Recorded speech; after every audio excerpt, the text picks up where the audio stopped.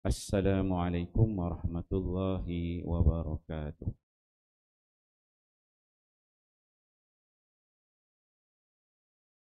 Himpunan hadis-hadis sahih keutamaan puasa dan Ramadan. Miftahur Rayyan, kunci Ar-Rayyan. Hadis ke 12. An Ibn Abbas radhiyallahu anhuma qala Kana Rasulullah sallallahu alaihi wasallam ajwadan nasi wa kana ajwadu ma yakunu fi Ramadan hina yalqahu Jibril wa kana Jibril yalqahu fi kulli lailatin min Ramadan fayudarisuhu al-Qur'ana fala, fala Rasulullah sallallahu alaihi wasallam hina yalqahu Jibril ajwadu bil khairi mirrihil mursalah. Akhrajahu al-Bukhari fi sahihih daripada Ibnu Abbas radhiyallahu anhuma beliau berkata Rasulullah sallallahu alaihi wasallam merupakan seorang yang sangat pemurah. Baginda sallallahu alaihi wasallam sangat pemurah khususnya dalam bulan Ramadan terutama ketika malaikat Jibril alaihissalam datang menemui baginda sallallahu alaihi wasallam Malaikat Jibril akan menemui baginda sallallahu alaihi wasallam pada setiap malam dalam bulan Ramadan. Kemudian beliau bertadarus Al-Quran dengan baginda sallallahu alaihi wasallam. Sesungguhnya baginda bersifat sangat pemurah. Pada ketika itu umpama angin yang bertiup kencang. Hadis riwayat Bukhari. Pengajaran hadis pertama, Ramadan adalah kesempatan untuk meningkatkan amalan kebaikan kerana ganjaran pahalanya akan digandakan.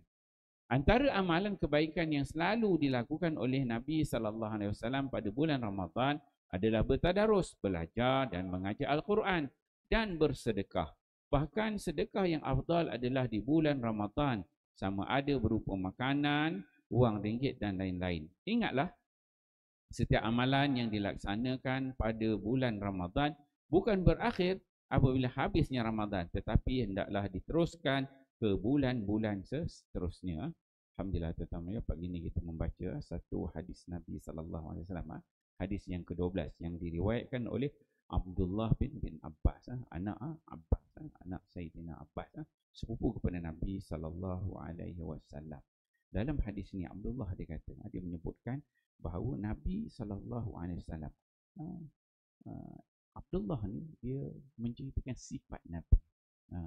Bukan Nabi bercakap tapi maksudnya Abdullah dia menceritakan bagaimana sifat Nabi sallallahu alaihi wasallam yang Abdullah dikenal. Dia nampak Nabi ni macam mana dia kata.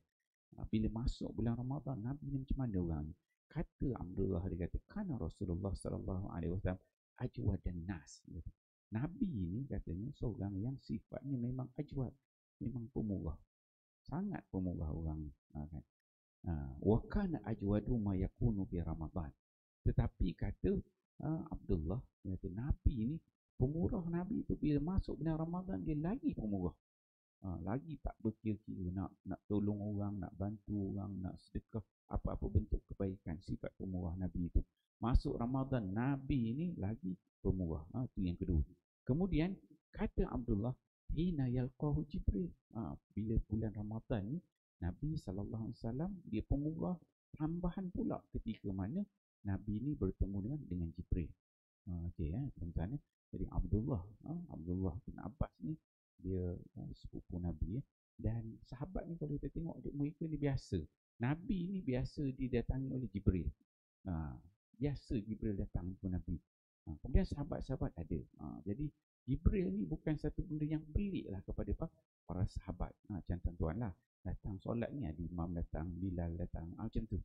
Eh, oh Jibril datang. Ha, itu yang disebutkan. Wakana wakana Jibrilu yalqahu fi kulli lailatin min Ramadan. Sampai waktu dan kita Abdullah ni dia boleh bagi tahu, dia menceritakan. Dia cerita, kata Abdullah, dia kata, Jibril ni datang jumpa Nabi pada setiap malam bulan Ramadan. Maksudnya dia jumpa. Abdullah ni dia nampak, dia jumpa dan dia tahu Jibril.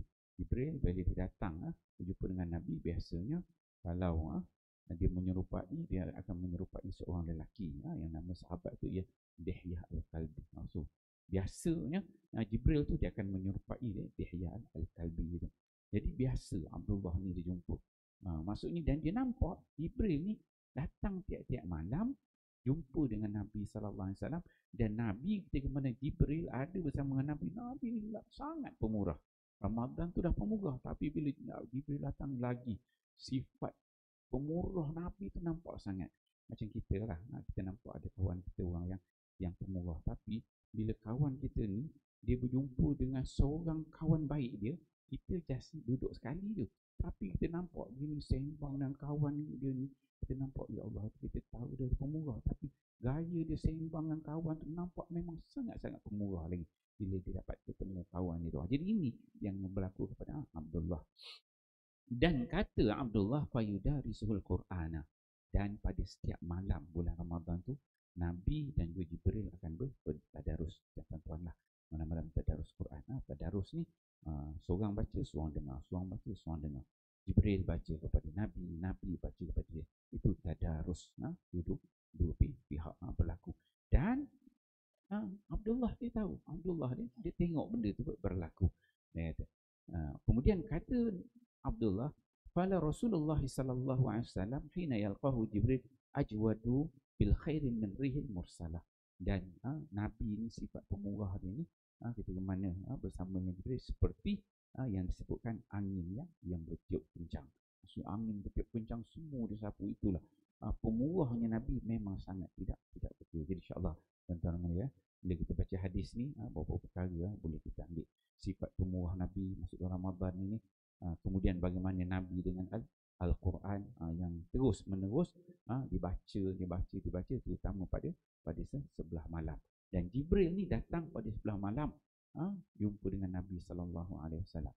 Dan dan kita pun ada tadarus sebelah malam dan alhamdulillah yang tadi tadi kita dah habis juzuk 11 dan juzuk 12. Insya-Allah uh, pagi besok kita akan uh, baca juzuk 13 dan juzuk 14 eh. Uh, kita tahniahlah pada tuan-tuan yang sabar baca Ha, pagi tadi Alhamdulillah suara baru sikit. Saya baca slow sikit. Kita lewat dekat pukul 5. Semalam saya baca laju. Tu suara habis tau. Tadi, tadi dia slow sikit kan. Ha, suara baik. Alhamdulillah. InsyaAllah besok kita baca juzuk 13 ha, dan juga 14. Ha, InsyaAllah tuan-tuan yang yang, ha, yang tak ada boleh datang Ha, kita mengimarahkan ihya Ramadan dengan uh, qiyam. Ha. Kita baca dua juzuk. Ha. Satu malam boleh tulis insyaAllah. Okay, kita fahami ha, hadis ni amal dan sampai-sampaikan. Wallahu a'lam. Subhanakallah.